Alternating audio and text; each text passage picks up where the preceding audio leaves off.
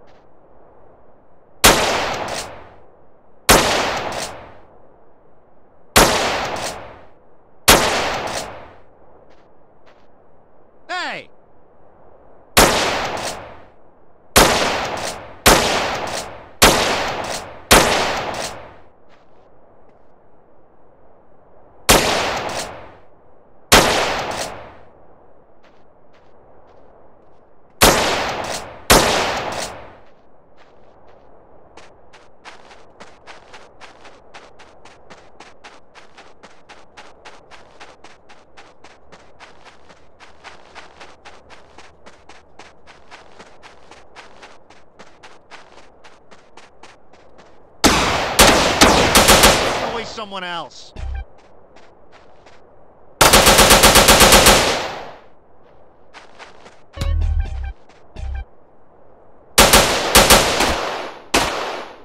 to Clucking Bell. This is, huh?